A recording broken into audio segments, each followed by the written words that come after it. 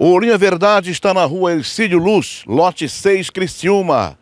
Área central da cidade, área nobre, como referência, aqui para cima fica o Morro Sequinel e para a parte de baixo, centro da cidade de Criciúma. Bem próximo ao centro, realmente o nosso centro comercial.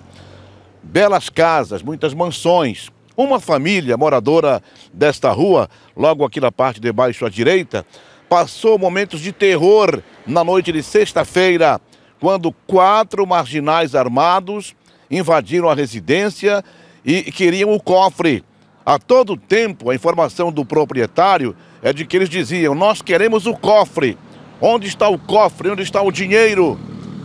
Inclusive, um dos marginais teria apontado uma arma em direção ao filho, em direção à filha do proprietário da residência. Quando o elemento apontou a arma para a cabeça de sua filha, o dono da casa não se conteve e entrou em luta corporal com o marginal. Nesse momento, ele levou uma coronhada na cabeça e chegou a desmaiar. Tanto a situação dele ficou complicada, depois dessa coronhada na cabeça, que ele perdeu os sentidos e não conseguia mais se lembrar de nada do que teria acontecido. Os marginais levaram um veículo Mitsubishi Outlander, levaram o cofre da residência, três televisores, 500 euros e um smartphone.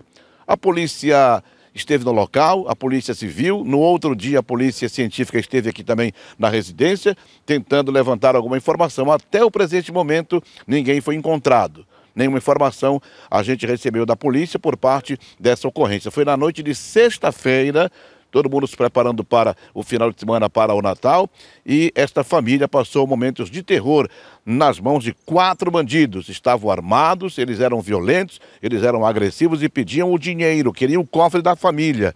Onde está o cofre? Eu quero o cofre, senão a gente vai arrebentar com vocês aqui. E aí, quando apontou a arma para a cabeça da filha do proprietário, ele não se conteve.